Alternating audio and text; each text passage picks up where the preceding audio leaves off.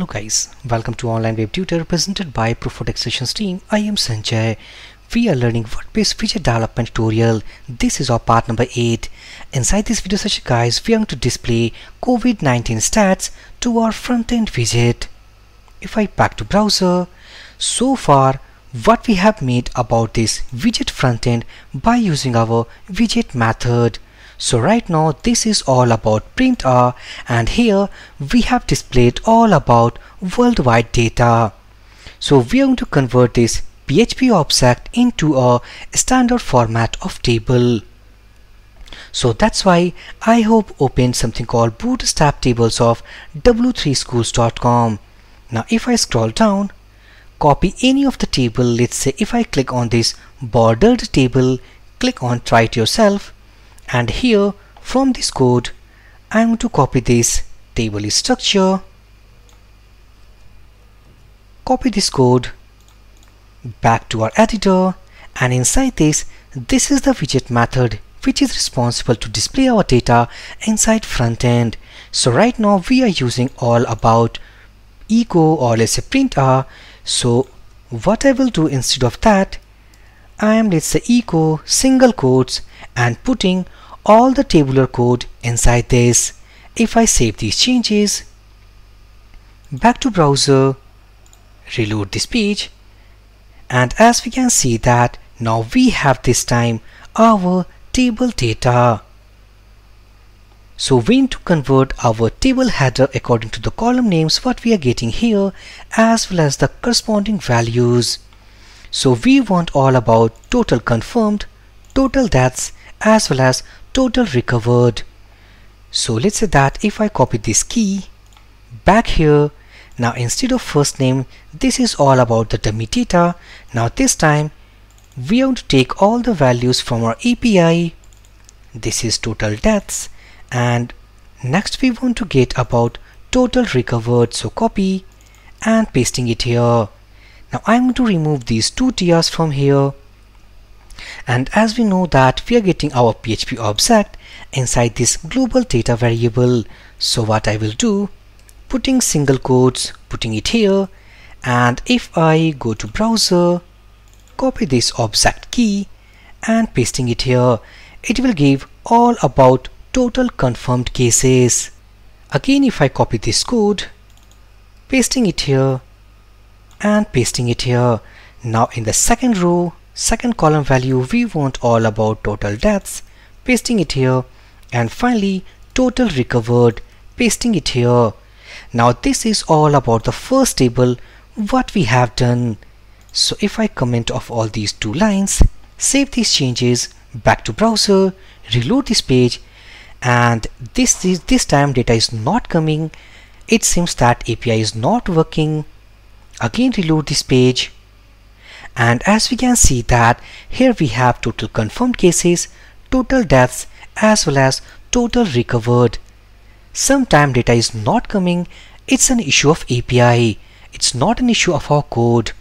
So let's say that now next we are going to make a second tabular structure which will display about country wise data.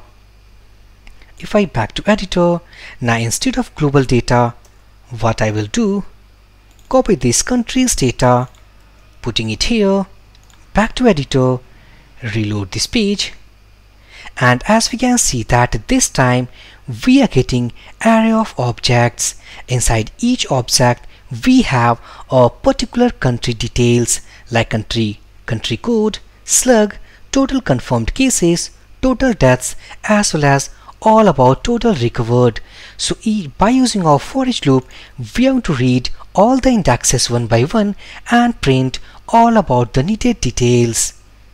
So if I back to editor, copy this echo, pasting it here. Now as we know that we need to use this tr by using our for each loop. So what I will do, go here and let's say that country underscore data, putting an empty value and I'm going to use our for each loop inside here let's say echo pasting it here. So inside this country data I'm going to concatenate our tr value.